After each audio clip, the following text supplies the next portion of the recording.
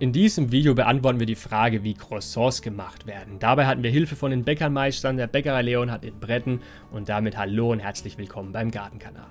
Zu den Grundzutaten.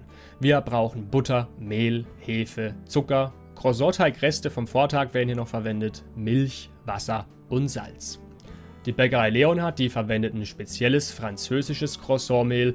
Das ist natürlich zum einen authentischer, zum anderen aber auch kleberstärker. Und den Steffen Leonhard, den Inhaber, habt ihr schon im Video kennengelernt, wo er zusammen mit mir Brot gebacken hat.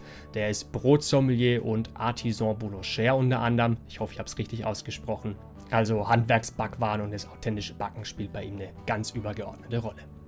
Zuallererst werden jetzt die Zutaten vermischt in der Mischphase, die geht 5 Minuten lang und ja, das Ziel der Mischphase ist, die Zutaten zu vermischen. In der Knetphase, die 8 Minuten geht, wird der Teig dann ausgeknetet schon mal ein klein wenig. Er ist schon etwas homogener und hat auch schon Kleberstrukturen entwickelt, wie man ja hier sehen kann.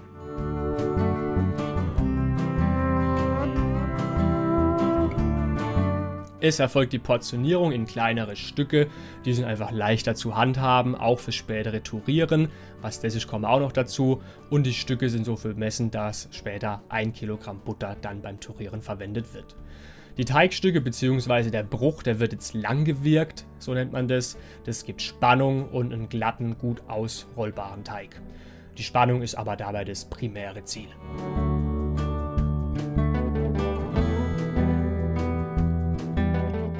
Den Fenstertest können wir auch mal machen. Croissant-Teig ist relativ fest, also nicht so zugfähig. Je weicher ein Teig, desto zugfähiger.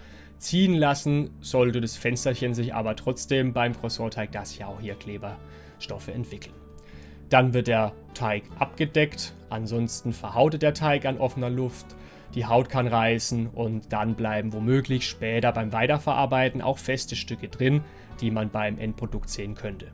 Und je nach Wetter und Hefe und Wasser, haben mir die Bäckermeister gesagt, liegt der Teig dann 30 bis 45 Minuten. Wann dann genug abgelegen ist und er weiterverarbeitet wird, ja, entscheidet der Bäckermeister täglich anders.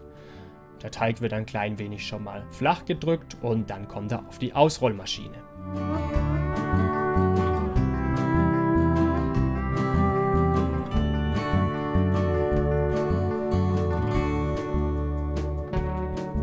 Beim Ausrollen gibt es natürlich einige Gänge, die hier gemacht werden. Er wird immer wieder zurechtgezupft. Hier soll es weiter Spannung im Teig geben und wir wollen natürlich auch auf die Größe fürs spätere Weiterverarbeiten, für das eigentliche Turieren dann bekommen. Vorher aber bringen wir den Teig in die Kühlung, nachdem er hier noch ein bisschen zurechtgezupft und angepasst wird. Und das hat folgenden Grund, wir wollen nicht, dass der Teig zu warm wird, denn wenn der Teig zu warm ist, könnte die Butter schmierig werden und man bekommt keine gleichmäßigen Schichten.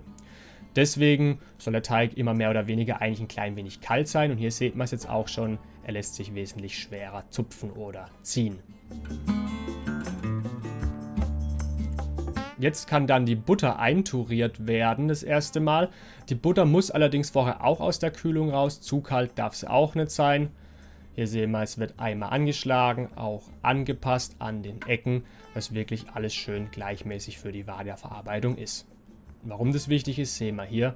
Wir werden nämlich weiter falten und die Butter Tour für Tour einarbeiten. Ein Croissant-Teig ist, auch wenn wir wie gleich sichtbar hier mehrere Schichten haben, kein Blätterteig. Ein Croissant-Teig ist ein Plunterteig, da Hefe dabei ist und Blätterteig ist eben ohne Hefe und Blätterteig lockert sich dementsprechend nur über das Turieren. Beim Croissant-Teig haben wir dafür die doppelte Lockerung über das Turieren und die Hefe.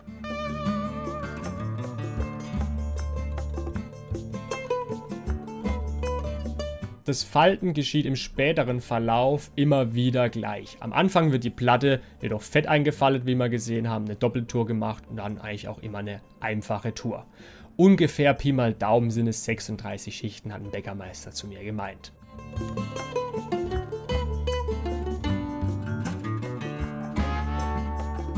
Wir haben wieder einen Gang in die Kühlung, wegen der angesprochenen Thematik, dass der Teig eben nicht zu warm werden soll. So, und jetzt kommt die Platte wieder auf die Ausrollmaschine und weiter geht's.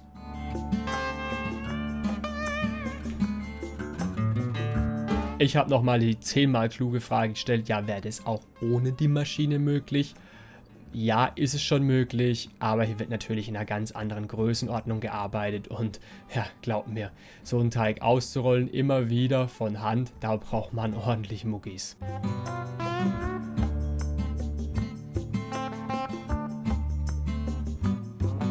Jetzt werden mit dem Lineal die Abstände gemessen und hier wird es noch von Hand gemacht, wie man sehen kann. Das ist absolut nicht selbstverständlich. Meistens machen es mittlerweile eigentlich Maschinen oder Croissants sind oftmals auch Tiefkühlware, die zugekauft wird.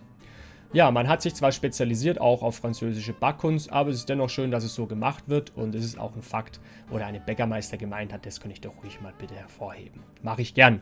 Ist ja auch so. Wir haben den klassischen Dreiecksschnitt gerade gesehen.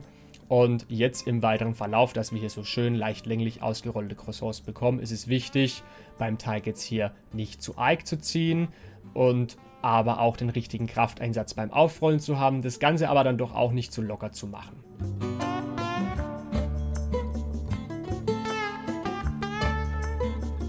Hier sehen wir nun, wie die Schokolade ins Pain au Chocolat kommt.